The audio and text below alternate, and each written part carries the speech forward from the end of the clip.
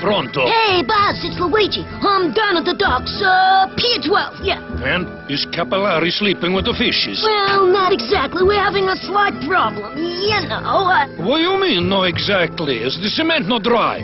sure, sure, eh, but the guy just won't sink, you know. I did try. So, what's the problem? Well, well, you see, he he had one last wish. Uh, he wanted a Red Bull. Oh, you idiot! Red Bull gives you wings.